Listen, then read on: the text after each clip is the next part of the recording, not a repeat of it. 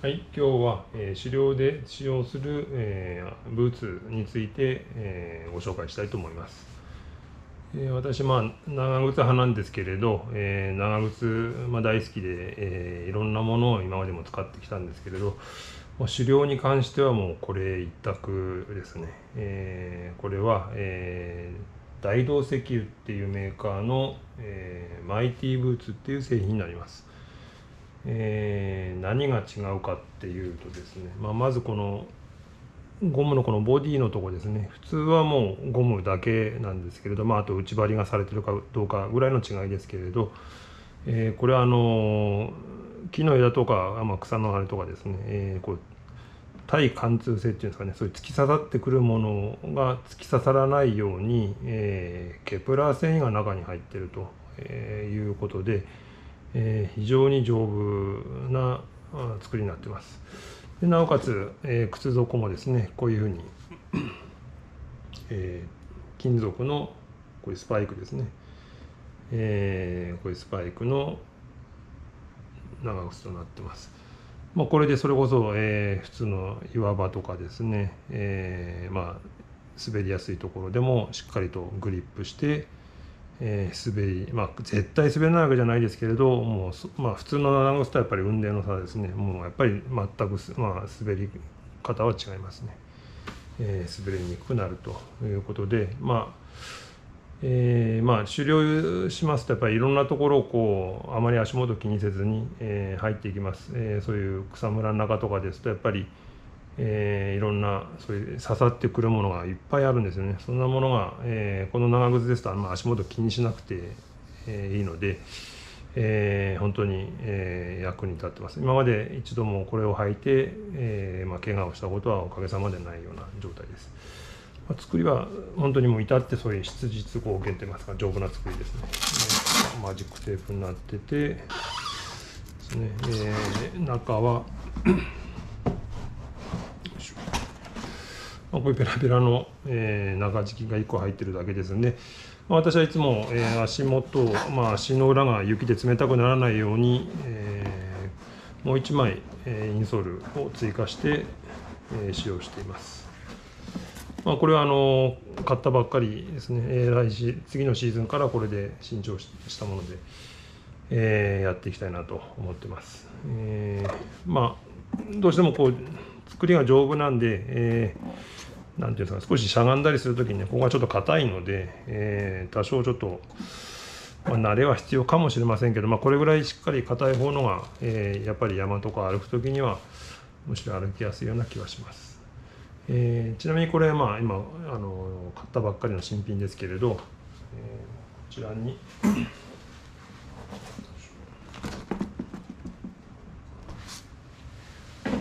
これは、えー、昨シーズンまで使ってたやつですね。えー、まあ私も毎週末大体寮行っ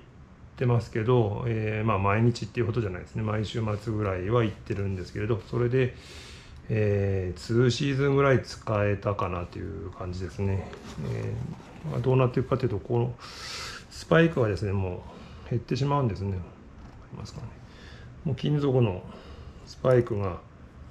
全くもうなくなってしまってまああんまり地面に設置しない部分はこう残ってますけど、まあ、このところあんまり意味がないので、えー、こういうしっかりグリップ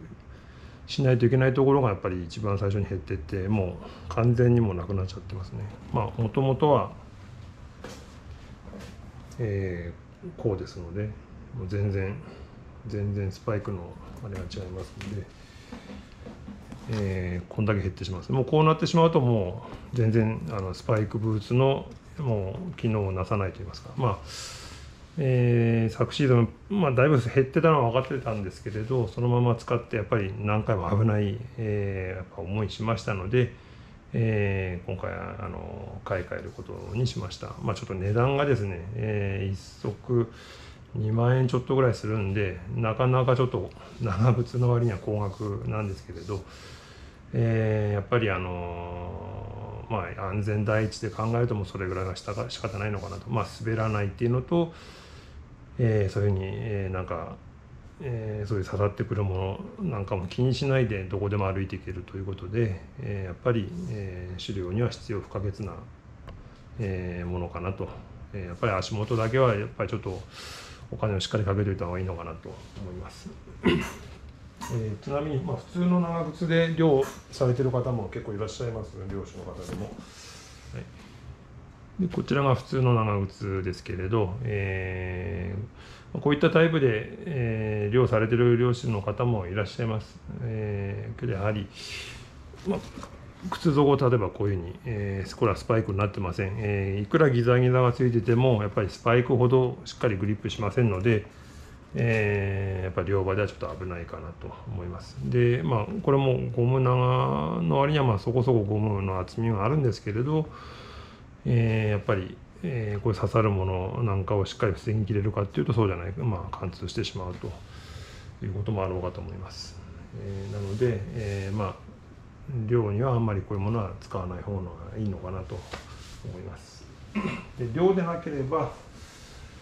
でまあ、こういったものもあります。よいしょ。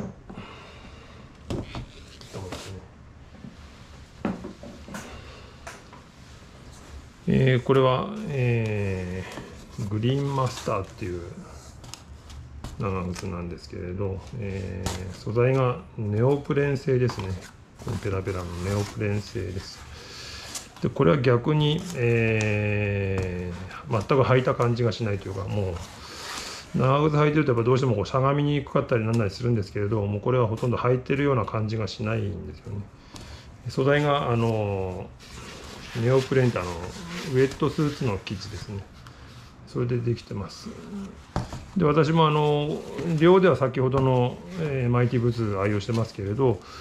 例えば車の洗車とか、えー、ガーデニングとか畑作業とかそんな時にはもうこれですね、えー、もうこれ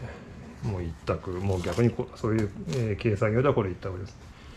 えー、長さはこうやって長いんですけれど、えー、こうやって折って短くもできますし、えー、すごく足にフィットするんで、えーと、蒸れそうに見えるんですけど全然蒸れを感じさせないですね。かといって、えー、水が漏れてくるわけでもないと。まあちょうどこれもう2年1年2年使いましたけどやっぱこうやってえー、まあ、枝がなんか刺さったとかちょっとこういうふうに穴が開いてるところがありますけれど、まあ、この状態でも今のところ水は漏れてくることはないですね。この辺もちょっと破れてますね、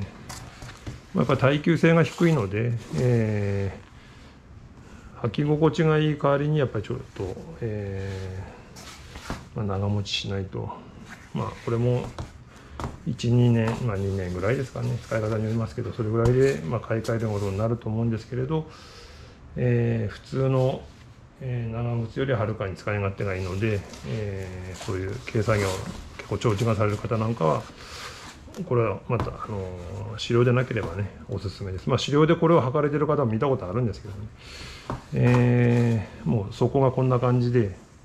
ギザギザごと入ってますけど本当に、えー、すごく滑ります。私も昨シーズンこれで